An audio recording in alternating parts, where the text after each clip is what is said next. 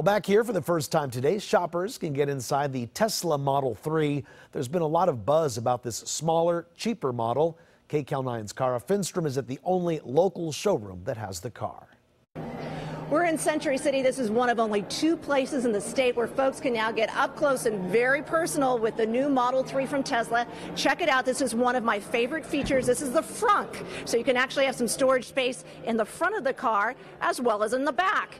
Now, this car starts at $35,000. It is being touted as the electric vehicle for the masses. We're going to get inside right behind the wheel here with some folks who've actually already put in an order for one of them. Uh, tell me what your favorite feature of the car is.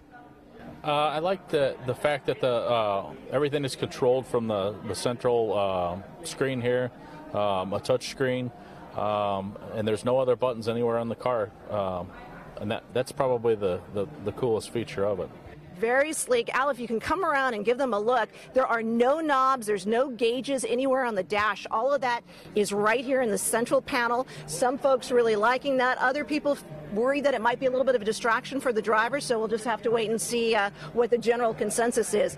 In the back here, we've got Andrew Gentleman with the Gentleman family. What's your favorite feature? Um, it would have to be the fact that um, the Tesla has autopilot and it can drive itself, and the fact that it has it, that is controlled um, by a touchscreen and that it has no buttons on the dashboard. Very cool. And I know you said you can't wait to give your friends a ride in this. Yeah.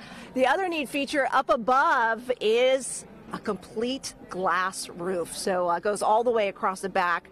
Really neat feature of this car. Very sleek. And if you are thinking about getting one, Tesla tells us that with a $1,000 deposit, it might be in your hands in 12 to 18 months.